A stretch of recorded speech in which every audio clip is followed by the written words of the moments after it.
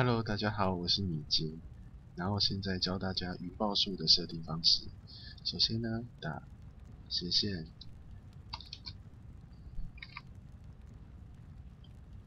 首先呢打斜线 T N W，叫出 Tell Me When 的框架。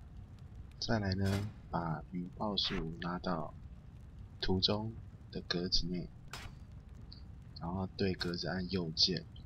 云报数是属于图腾类，然后我们点选计时，显示计时器，显示计时数字，然后呢，我们再加入条件为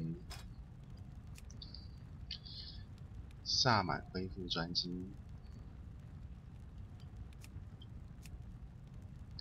萨满恢复专机，然后再选择战斗中显示，这样平常走路就不会有这个框架。然后我们再给它一个动画，在显示时启动边框，无限重复播放，按确认。然后现在为大家试验看看。首先呢，我先打这个训练假人，先战斗中，然后再开开启我们的云爆术。有没有第二个？它开始计时时间了，然后脱战了，它就会不见。在战斗中再战一下，然后把它使用掉，然后它就会消失了。这样大家会了吗？